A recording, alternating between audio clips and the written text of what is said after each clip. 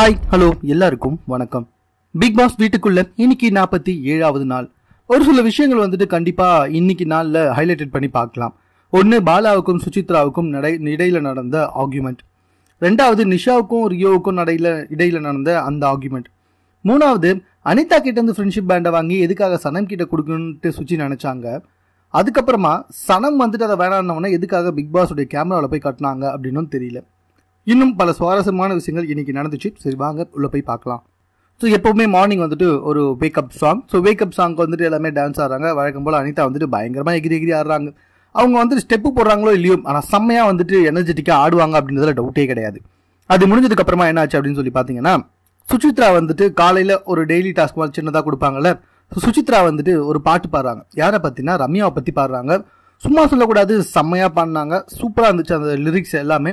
ரம்யா பற்றின அந்த சாங் பாடினாங்க. அதுக்கப்புறமா வந்துட்டு அனிதாவுக்கு ஒரு சாங் அதுக்கு அனிதாவும் ரியும் வந்துட்டு டான்ஸு கூட ஆடினாங்க. இந்த சாங் ஒன்றும் ரம்யாவுக்கு பாடின அந்த அளவுக்கு இல்லை பட் இதுவும் நல்லா தான் இருந்துச்சு. அது முடிஞ்சதுக்கப்புறமா வந்துட்டு பார்த்தீங்கன்னா டேரெக்டாக நம்ம பிக் பாஸ் வந்துட்டு பாயிண்ட்டுக்கு போயிட்டாரு. அதாவது இந்த வாட்டி ஜெயிலுன்னு சொல்லலை ஓய்வு எடுக்கும் அறை அப்படின்ற மாதிரி தான் அது சொல்லப்படுது. அந்த ஓய்வு எடுக்கும் அறைக்கு வந்துட்டு ரெண்டு பேர் அனுப்புகிறாங்க ஸோ இன்னைக்கு தாங்க தெரிஞ்சுது அந்த அறையில் வந்துட்டு ஃபேன்லாம் கிடையாது கையில் தான் விசிறிக்கணும் அப்படின்றது. ரொம்ப ஹீட்டாக இருக்கும் போல் இருக்காங்க. ஸோ அது வந்துட்டு அந்த ஓய்வெடுக்கும் அறைக்கு யார் அனுப்புது அப்படின்னு சொல்லிட்டு பேச்சு நடைபெற்றது. ஆனால் ரொம்ப ஓப்பனாக எடுத்தவொடனே பிக் பாஸ் வந்துட்டு ஒரு விஷயத்த முன்னாடி வச்சுட்டாரு. அந்த மணிகுண்டு டாஸ்கில் வந்துட்டு கடைசியாக வந்த அணியினர் அதாவது பாலா சுச்சி ரம்யா இவங்களில் மூணு பேரை தான் வந்துட்டு நீங்கள் ரெண்டு பேரை செலக்ட் பண்ணி ஓய்வெடுக்கும் அறைக்கு அனுப்பணும் அப்படின்ற மாதிரி வந்துட்டு முன்னாடியே வந்துட்டு பிக் பாஸ் சொல்லிட்டாரு. ஸோ ரொம்ப கிளியராக சொல்லியிருக்காரு. மணிகுண்டு டாஸ்கில் தோல்வியுற்ற அணி அப்படின்ற மாதிரி சொல்லியிருக்காரு. அப்போ அந்த டாஸ்க்கை பேஸ் பண்ணி அதில் எதுக்காக தோத்தாங்க அப்படின்றது தானே சொல்லணும். ஸோ அதை வந்துட்டு பாலா புரிஞ்சுக்காம வெறும் அந்த டாஸ்க்கை மட்டும்தானா? அதை சொல்லுங்க. வெறும் அந்த டாஸ்க்கை மட்டும்தானா? அதை சொல்லுங்க அப்படின்னு சொல்லிட்டு வழக்கம் போல வந்துட்டு பயங்கரமாக கத்த ஆரம்பிச்சிட்டாரு. இவர் மற்றவங்கள ஜெயிலுக்கு அனுப்பும்போது இவருக்கு பயங்கர சுகமாக இருந்துச்சு. இப்போ இவர் மட்டும் வந்துட்டு போகும்போது பயங்கரமாக வந்துட்டு கத்துறாரு.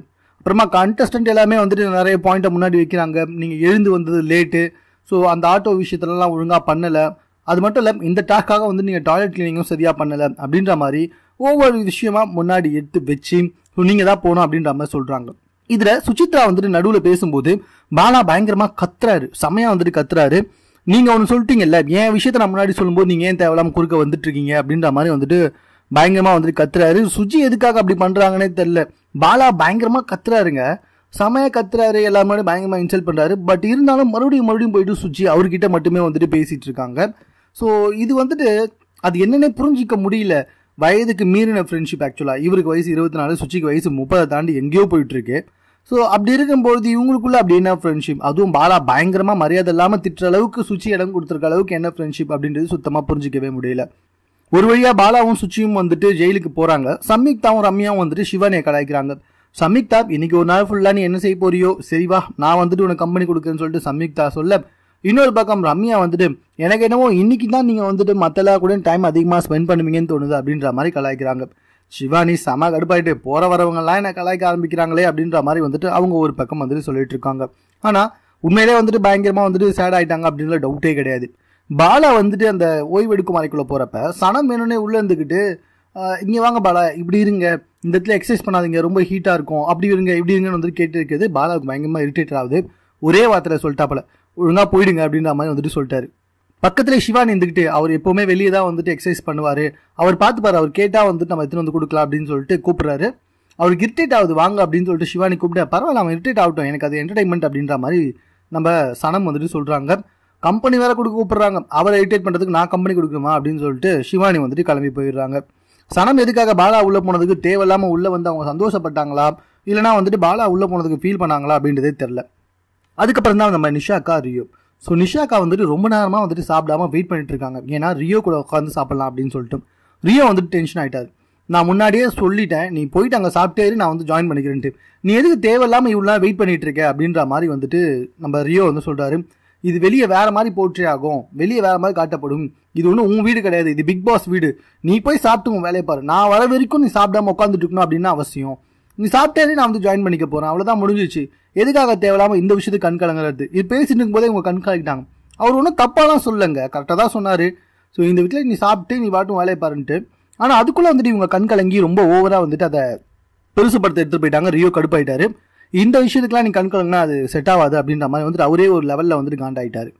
அப்புறமா வந்துட்டு நிறைய விஷயங்களை நம்ம நிஷாக்காவுக்கு சொல்லி புரிய வைக்கிறாரு. நிஷாக்கா பண்ணது நமக்கே கொஞ்சம் கடுப்பாக தான் இருந்துச்சு. என்ன அவர் தப்பாக சொல்லிட்டாரு? நீ முன்னாடி சாப்பிட்டு போகணும் வெயிட் பண்ண தேவைன்னு சொன்னதுக்கு தேவையில்லாமல் எதுக்காக இவங்க அவ்வளோ ஃபீல் பண்ணி அவ்வளோ காண்டாய் அழணும் அப்படின்றது வந்துட்டு சுத்தமாக புரியவே இல்லை. ஸோ நிஷாக்கா நீங்கள் பண்ணுறது ரொம்ப ஓவர் ஆக்டிங்காக இருக்கோ இல்லை ரொம்ப ஓவராக வந்துட்டு பண்ணுற மாதிரி வந்துட்டு வெளியே தெரிஞ்சுட்ருக்குன்றதுல எந்த டவுட்டுமே கிடையாது. அதுக்கப்புறமா தாங்க ரொம்ப ரொம்ப முக்கியமான விஷயங்கள் வந்துச்சு. பாலாவும் சுச்சியும் வந்துட்டு பேசிக்கிறது தான் ஸோ ஒரு பாட்டை ரெடி பண்ணும்போது குரூப் அப்படின்னு சொல்லிட்டு அதாவது ஒரு குரூப் தான் இருக்குது அப்படின்ற மாதிரி பாலா பாட ஒரு குரூப்ன்றதை என்னால் ஒத்துக்க முடியாது அப்படின்ற மாதிரி சுச்சி ரொம்ப ஓப்பனாகவே சொல்கிறாங்க ரெண்டு குரூப் இருக்கு உங்களோட குரூப்பும் சேர்த்து அப்படின்ற மாதிரி வந்து சொல்றாங்க. என்ன நான் என்ன குரூப்னு சொல்ல வரேன்? ஆஜித் தானே குரூப்னு சொல்ல வரேன்? அங்க பத்தியா என்னை பத்தி தப்பு தப்பா பாயிண்ட் எடுத்து கொடுத்தவனே ஆஜித் தான். அவன்லாம் ஒன்றும் குரூப் கிடையாது. முதல்ல குரூப்பே கிடையாது. நீ எதுக்கு தேவையில்லாம குரூப்னு சொல்லிட்டு இருக்கே அப்படின்ற மாதிரி வந்துட்டு பாலா கத்துறாரு. இங்க பாத்தீங்கன்னா எல்லாருமே ஒன்றா சேர்ந்து ஒரு முடிவு அவங்க தான் குரூப் அப்படின்னா நீங்க கூட தான் அப்படி எடுத்தீங்க அப்படின்னு சொல்லிட்டு மறுபடியும் வந்துட்டு பாலாவை செம்மையா வந்துட்டு பேசுறாங்க சுச்சி அவங்க பேசுகிற பாயிண்டோட நிலைப்பாட்டை சரியா சொன்னாங்கன்னா கன்ஃபார்மா பாலாவே அவுட் ஆயிடுவாரு.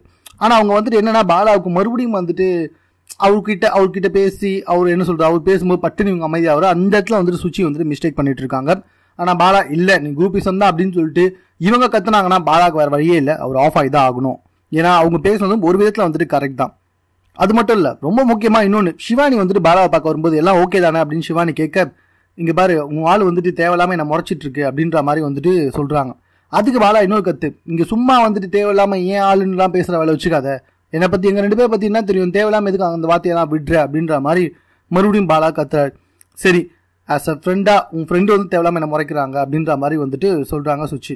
சரி முறைச்சானே வந்துட்டு தொட்டு கேட்டுக்கோ. அதுக்கு வந்து நான் என்கிட்ட நீ பர்மிஷன் கேட்கணும்னு அவசியம் இல்லை அப்படின்ற மாதிரி வந்துட்டு பாலா சொல்றாரு.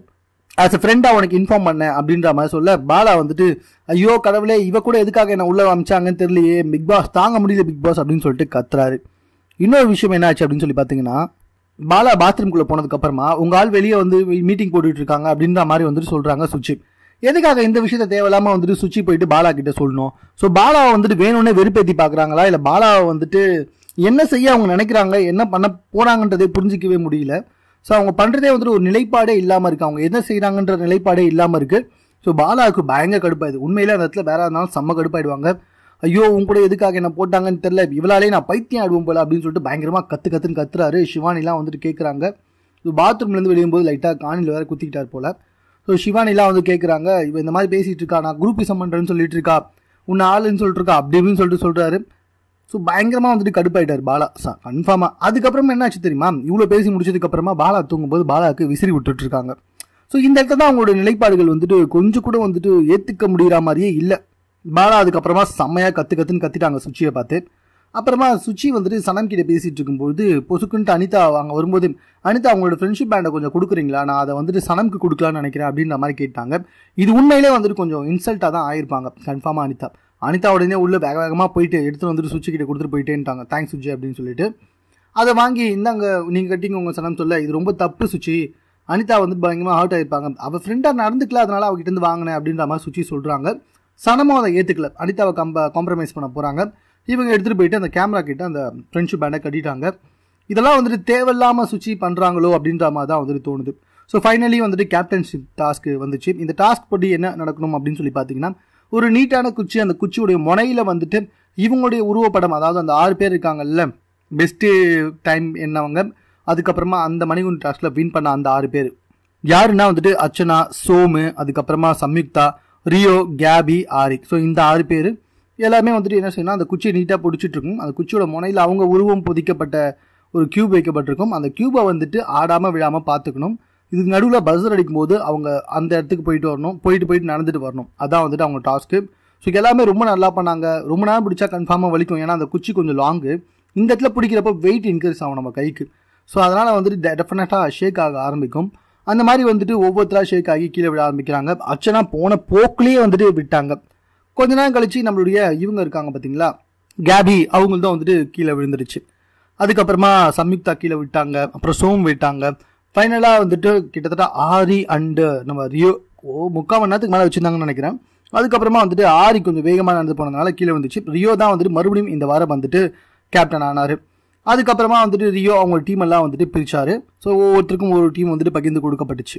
அப்புறமா மறுபடியும் வந்துட்டு சின்னதாக ஒரு டாஸ்க்கு ஸோ என்ன டாஸ்க் அப்படின்னு சொல்லி பார்த்தீங்கன்னா ஹுண்டாய் கார் சம்மந்தப்பட்டது ஸோ ஹுண்டாய் புதுசாக வந்துட்டு ஒரு கார் லான்ச் பண்ணுறாங்க ஐ டுவெண்ட்டி ஸோ அந்த ஐ டுவெண்ட்டி காருக்கான ஒரு டாஸ்க் தான் இது.